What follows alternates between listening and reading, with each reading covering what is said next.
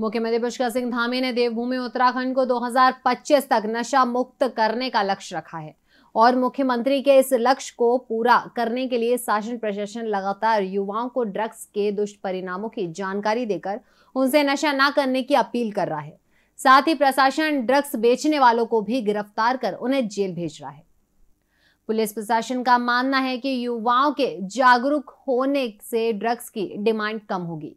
Demand कम होने से drugs का धंधा करने वाले खुद ब खुद इस धंधे को टाटा बाय बाय करने के लिए मजबूर हो जाएँगे।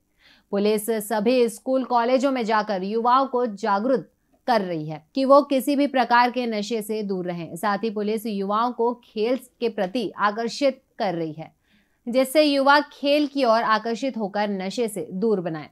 वो खबरें जो आपके काम की है, वो खबरें जो आपके लिए ज़रूरी है। हर आम और खास से जुड़े मसले।